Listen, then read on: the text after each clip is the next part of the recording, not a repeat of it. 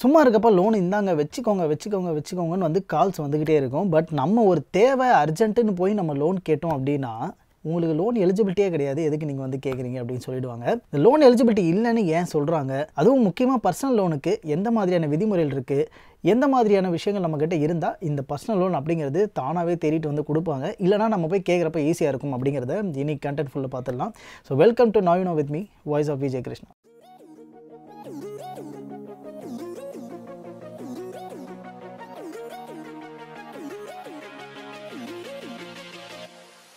personal loan யாரெல்லாம் வாங்க முடியும் அப்படின்னு பார்க்குறப்ப இந்திய குடிமகனாக இருக்கக்கூடிய எல்லாராலையுமே பர்சனல் லோன் அப்படிங்கிறது வாங்க முடியும். இந்தியாவில் இருக்கக்கூடிய உங்களுக்கு தனியாக ஒரு அசட் இருக்குது அப்படின்னா அந்த அசட்டை பேஸ் பண்ணி கூட நீங்கள் பர்சனல் லோன் அப்படிங்கிறது வாங்க முடியும். இன்னொன்று முக்கியமாக நீங்கள் சேலரிடாக இருக்கீங்களா இல்லை செல்ஃப் எம்ப்ளாயாக இருந்தாலும் இருபதாயிரம் ரூபாய்க்கு மேலே மினிமம் அப்படிங்கிறது இருபதாயிரம் ரூபாய் சொல்கிறேன் ஸோ மினிமம் இருபதாயிரம் ரூபாய்க்கு மேலே நீங்கள் ஏர்ன் பண்ணுறீங்க அப்படின்னா ஸோ உங்களுக்கு பர்சனல் லோன் கொடுக்கக்கூடிய எலிஜிபிலிட்டி அப்படிங்கிறது இருக்கும். இது எல்லாத்தையும் விட மிக முக்கியமான ஒன்று என்ன அப்படின்னு பார்க்குறப்ப உங்களுடைய கிரெடிட் ஸ்கோர் அப்படின்னு ஒன்று இருக்குது பேங்க்கில் இந்த கிரெடிட் ஸ்கோர் எதை பேஸ் பண்ணி இருக்கும் இதுக்கான வழிமுறைகள் என்ன அப்படிங்கிறத இன்னும் டீட்டெயிலாக பார்க்கலாம். பட் இந்த கிரெடிட் ஸ்கோர் அப்படிங்கிறது இப்போ வரைக்கும் கிட்டத்தட்ட எழுநூற்றி ஐம்பதுக்கு மேலே இருக்கணும்.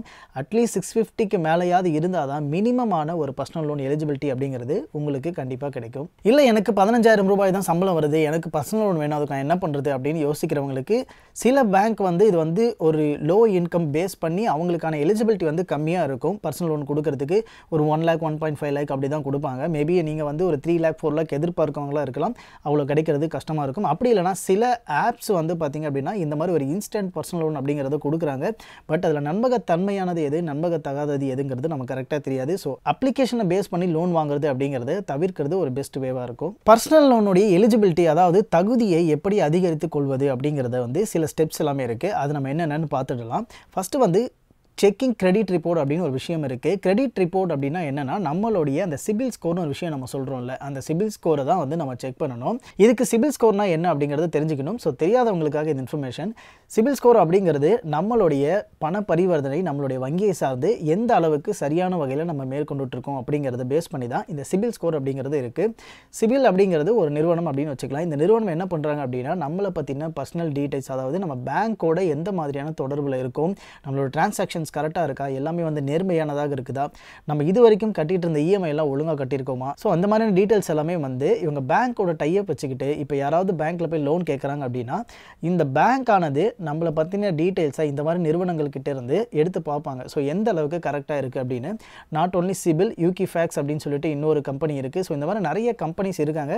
பட் இந்தியாவிலே மோஸ்ட் பாப்புலராக இந்த டீட்டெயில்ஸை பக்காவாக கொடுக்கக்கூடிய ஒரு நிறுவனம் அப்படிங்கிறது இந்த சிபில் அப்படின்னு அழைக்கப்படுது. ஸோ அதனால தான் இந்த சிபிலை பேஸ் பண்ணி பேங்க் அப்படிங்கிறது நமக்கு லோன் அப்படிங்கிறது ப்ரொவைட் பண்ணுறாங்க ஓகே இப்போ back to checking credit report அப்படிங்கிறது வருவோம் இந்த கிரெடிட் ரிப்போர்ட் அப்படிங்கிறது இந்த சிபில் ஸ்கோரை தான் வந்து மென்ஷன் பண்ணுது. இந்த சிபில் ஸ்கோர் அப்படிங்கிறது எந்த அளவுக்கு பெட்டராக இருக்குது அப்படிங்கிறது நம்ம பண்ணிட்டு இருக்கக்கூடிய டிரான்சாக்ஷனை பேஸ் பண்ணி கூட நம்ம சொல்லலாம். ஸோ ஆவரேஜாக த்ரீ மந்த்ஸ்க்கு ஒன்ஸ் இந்த சிபில் ஸ்கோரை செக் பண்ணுறது அப்படிங்கிறது ஒரு நல்ல பெட்டர் வேவாக இருக்கும். இது எப்படி லோன் பெறதுக்கு உதவும் அப்படின்னு பார்க்குறப்ப இந்த சிபில் ஸ்கோர் லோவாக இருக்குது அப்படின்னா ஏன் லோவாக இருக்குது அப்படிங்கிறத ஃபஸ்ட் நீங்கள் தெரிஞ்சுக்கணும். ஹையாக இருக்குது அப்படின்னா எது ஹையாக இருக்கிறதுக்கு உதவி இருக்குது அப்படிங்கிறத நீங்கள் புரிஞ்சிக்க முடியும். ஸோ இந்த ரெண்டு விஷயத்துக்காக ஃபஸ்ட்டு சிபில் ஸ்கோர் அப்படிங்கிறத செக் பண்ணணும். அடுத்ததாக கிரெடிட் கார்டு பேலன்ஸ் ஸோ இந்த கிரெடிட் கார்டு பேலன்ஸ் அப்படிங்கிறது இன்றைக்கி நிறைய பேர் பரவலாக கிரெடிட் கார்டு யூஸ் பண்ண ஆரம்பிச்சிட்டோம். இந்த கிரெடிட் கார்டுடைய பில்லை வந்து மந்த் ஆன் மந்த் கரெக்டாக கட்டுறது அது மட்டும் இல்லாமல் இந்த கிரெடிட் கார்டை வந்து யூஸ் பண்ணும்போது அதை எந்த அளவுக்கு யூஸ் பண்ணுறோமோ அதை பேஸ் பண்ணி வந்து சிபில் ஸ்கோர் அப்படிங்கிறது அடங்கும்.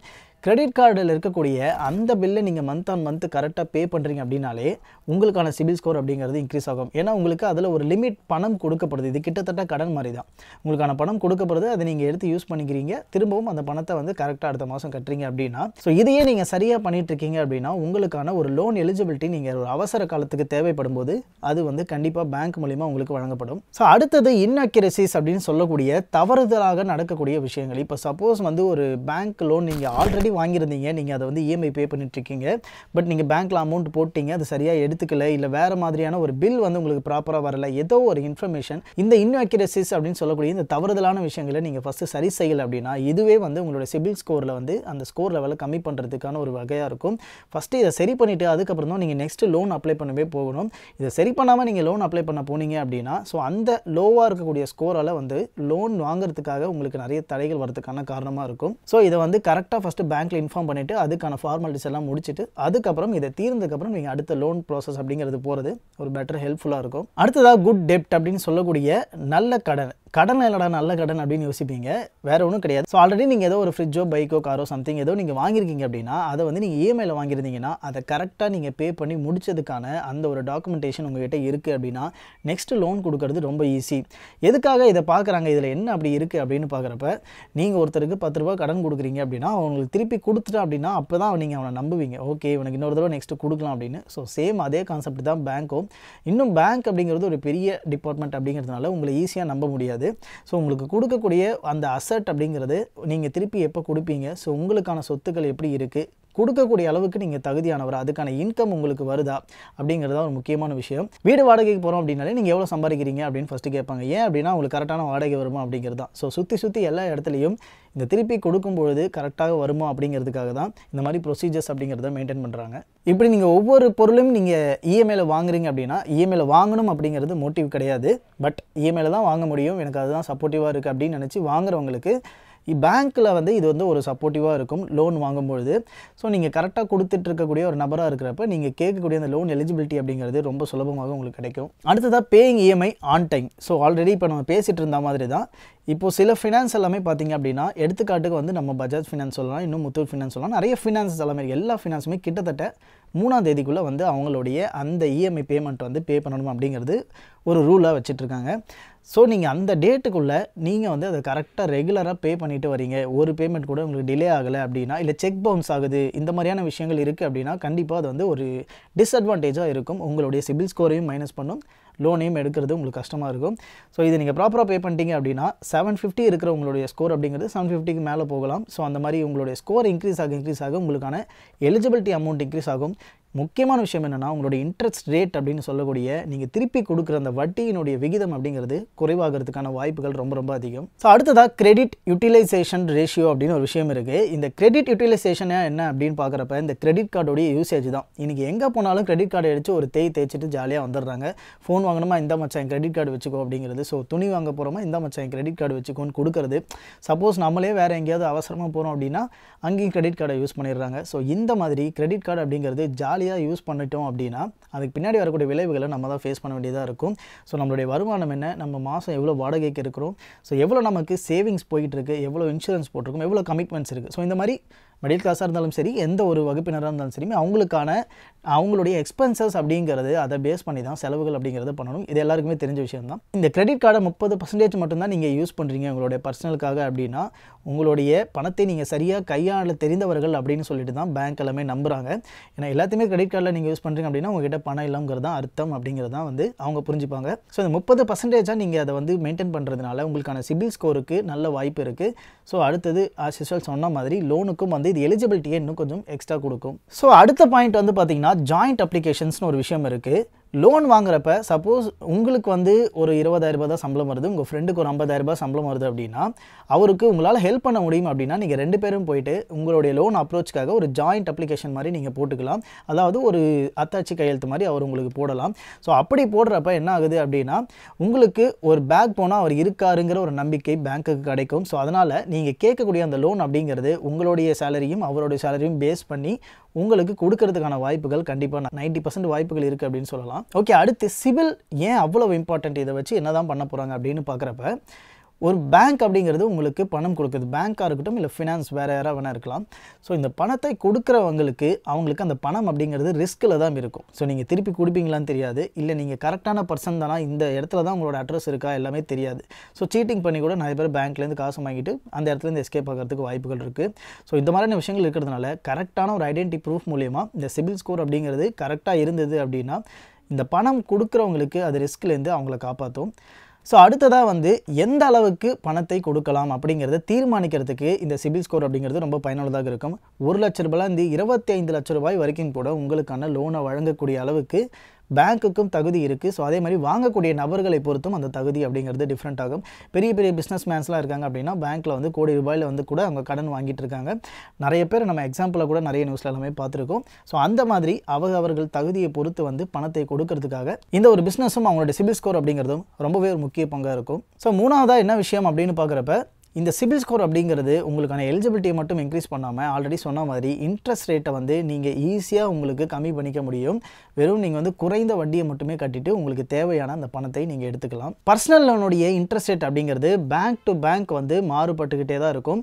இது கிட்டத்தட்ட seven point ninety percentage per ஆனம்லேருந்து forty nine point nine percentage வரைக்கும் பர் ஆனம்க்கு இருக்குது அதாவது ஒரு வருடத்துக்கு இந்த பர்சன்டேஜ் அளவுக்கு ஒரு ஒரு பேங்க்குமே வந்து இதுக்குள்ளே மாறி மாறி வந்து உங்களுக்கான இன்ட்ரெஸ்ட் ரேட் அப்படிங்கிறத கொடுத்துட்ருக்காங்க அது மட்டும் இல்லாமல் நீங்கள் வந்து என்பிஎஃப்சியோடைய பர்சனலோடையும் செக் பண்ணலாம். என்பிஎஃப்சி அப்படிங்கிறது என்னென்னா நான் பேங்கிங் ஃபினான்ஷியல் கார்ப்பரேஷன் அப்படின்னு சொல்லுவாங்க.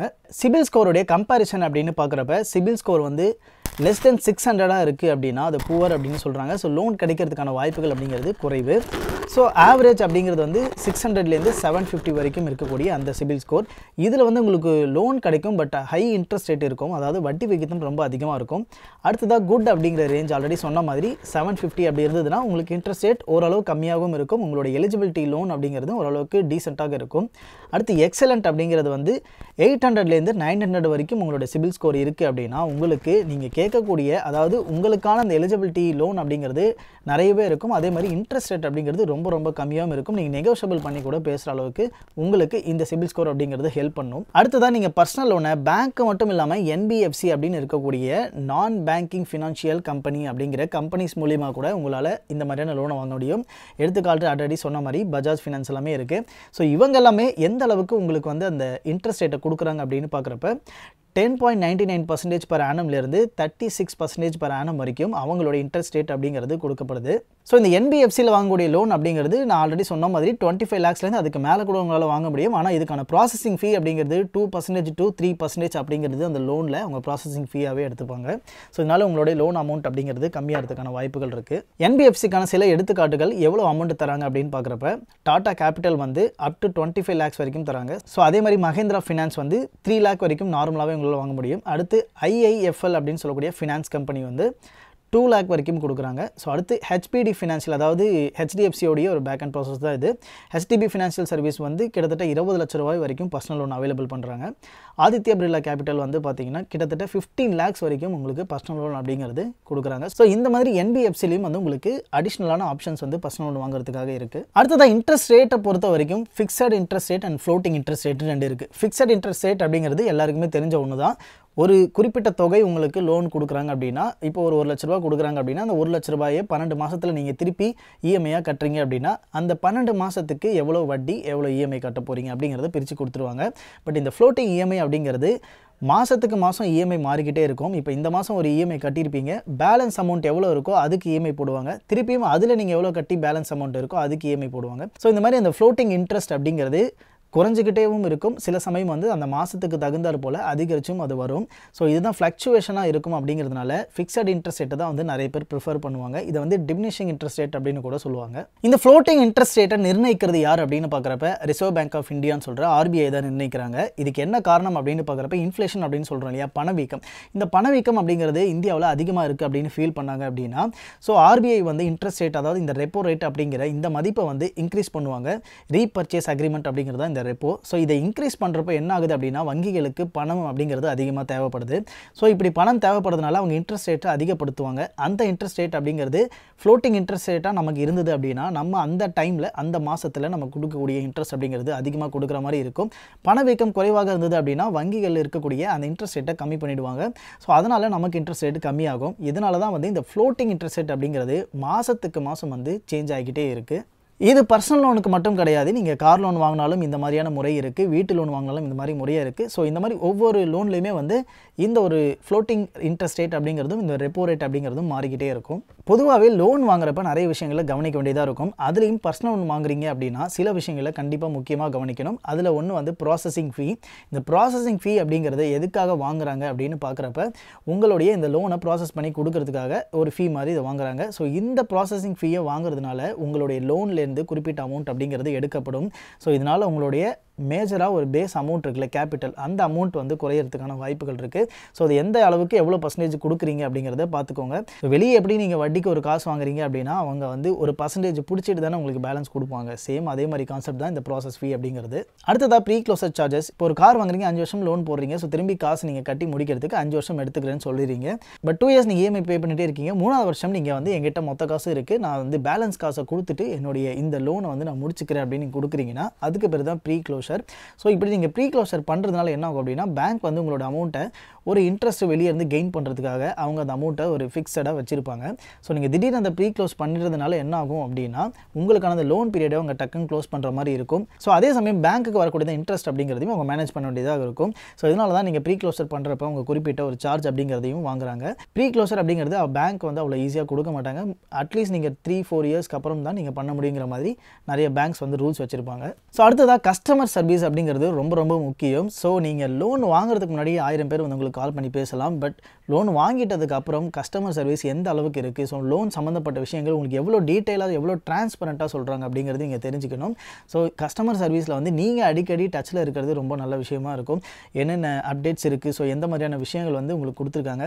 உங்களுடைய அந்த இஎம்ஐ சம்மந்தப்பட்ட டீட்டெயில்ஸ் எல்லாமே ப்ராப்பராக அனுப்புகிறாங்களா அப்படிங்கிறத நீங்கள் மந்த் ஆன் மந்த் செக் பண்ணாலுமே அது ரொம்ப ஒரு யூஸ்ஃபுல்லான விஷயமா இருக்கும். ஸோ கஸ்டமர் கேர் அப்படிங்கிறது ரொம்ப இம்பார்ட்டண்ட் அடுத்ததாக லோன் டிஸ்பர்சல் டைம் அப்படின்னு சொல்லிட்டு ஒரு டைம் இருக்குது நீங்கள் லோனுக்கு எலிஜிபிலிட்டியாக இருக்கீங்க. உங்களுக்கு லோன் அப்ரூவ் பண்ணிட்டாங்க. பட் அந்த அமௌண்ட்டு உங்களுக்கு ரொம்ப அர்ஜென்ட்டாக தேவைப்படுது அப்படின்னா அதை எவ்வளோ சீக்கிரம் கொடுக்கக்கூடிய ஒரு பேங்க்காக இருக்குது எவ்வளோ சீக்கிரம் ப்ராசஸ் பண்ணுறாங்கன்றது பார்க்குறது ரொம்ப முக்கியம்.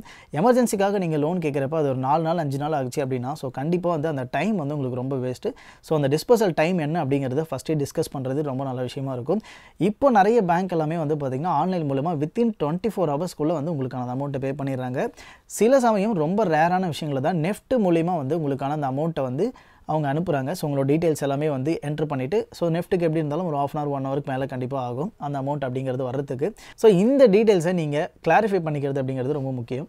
இது மட்டும் இல்லாமல் அதர் சார்ஜஸ் என்னென்ன பண்ணுறாங்க அப்படின்னு பார்க்குறப்ப பேங்க்கில் அதையும் நோட் பண்ண வேண்டியது அவசியமாக இருக்கும். அதாவது ப்ரீ பேமெண்ட் ஃப்ரீன்னு ஒன்று இருக்குது ஸோ லோன் கேன்சலேஷன் நீங்கள் சப்போஸ் இந்த லோன் வந்து நான் கேன்சல் பண்ணணும்னு நினைக்கிறீங்க அப்படின்னா அந்த லோன் கேன்சலேஷன் சார்ஜஸ் இருக்குது அதுக்கப்புறம் செக் ஆர் இஎம்ஐ பவுன்ஸ் ஆச்சு அப்படின்னா அதுக்காக அவங்க சார்ஜ் பண்ணுவாங்க. பட் சார்ஜ் பண்ணுற அமௌண்ட் வந்து கரெக்டான அமௌண்ட்டாக தான் இருக்கா? எக்ஸ்ட்ரா வாங்குறாங்களா? அப்படிங்கிறதையும் செக் பண்ண வேண்டியது நம்மளுடைய கடமையாக இருக்கும். அடுத்ததாக ஸ்டாம்ப் டியூட்டி சார்ஜ் அப்படின்னு சொல்லக்கூடிய சப்போஸ் ஏதாவது பாண்ட் யூஸ் பண்ணி ஏதாவது இன்வெஸ்ட்மெண்ட் பண்ணுறீங்க இல்லை பாண்ட் யூஸ் பண்ணி ஏதாவது லோன் எடுக்கிறீங்க அப்படின்னா அதில் வந்து ஸ்டாம்ப் டியூட்டி எந்த அளவுக்கு சார்ஜ் பண்ணுறாங்கன்றது பார்க்கணும். ஸோ இந்த மாதிரி பர்சனல் லோன் அப்படிங்கிற இந்த ஒரு லோன்லேயே வந்து இவ்வளவு டீட்டெயில்ஸ் வந்து நம்ம பார்க்க வேண்டியது ரொம்ப ரொம்ப அவசியமாக இருக்கும். ஸோ உங்களோட எலிஜிபிலிட்டியை நீங்கள் இன்க்ரீஸ் பண்ணணும்னு நினைக்கிறீங்க அப்படின்னா ஒரு சிம்பிளான வழி என்னன்னா நம்மளோட சேலரியும் நம்மளோட கெப்பாசிட்டியும் பொறுத்து ஒரு ப்ராடக்ட்டை நமக்கு தேவையான ப்ராடக்ட்டை இஎம்ஐயில் வாங்குறோம் அப்படின்னா ஸோ வாங்கிட்டு அதை கரெக்டாக பே பண்ணாலே நமக்கு வந்து இந்த சிபில் ஸ்கோர் அப்படிங்கிறது ஆட்டோமேட்டிக்காக இன்க்ரீஸ் ஆகிடும் ஸோ இந்த இன்ஃபர்மேஷன் உங்களுக்கு பயனுள்ளதாக இருந்தது அப்படின்னா நிறைய பேருக்கு இந்த பதிவை வந்து ஷேர் பண்ணுங்கள் கவர்னி சேனலை மறக்காமல் சப்ஸ்கிரைப் பண்ணிக்கோங்க. தேங்க்ஸ் ஃபார் வாட்சிங் தமிழ் பேசும் உள்ளங்களுக்கும் காவிரி நியூஸ் பார்வையாளர்களுக்கும் நன்றி.